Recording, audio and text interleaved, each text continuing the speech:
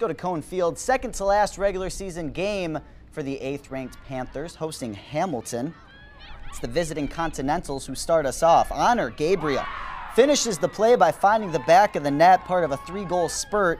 Tie game 9 9. Panthers counter with a spurt of their own. Georgia Carroll beats the keeper. Middlebury up 11 9 at recess. Second half. Panthers in transition. Emma McDonough nets it to put Middlebury up by three. Then it's Kirsten Murphy takes it and creates it. Unassisted for the score. Panthers up by four, and they weren't even close to done. Hollis Perticone from the free position, not stopping that one. Middlebury outscores Hamilton 9 2 in the second half. They take it by a final of 20 to 11.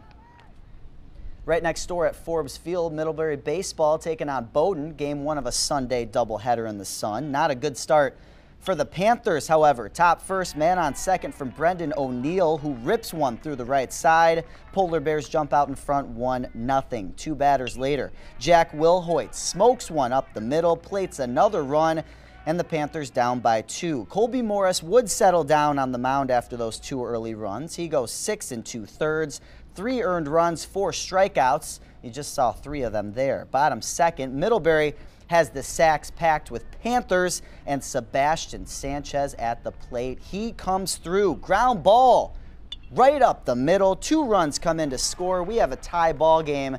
The Panthers go on to sweep the doubleheader 5 4 and 3 zip your finals.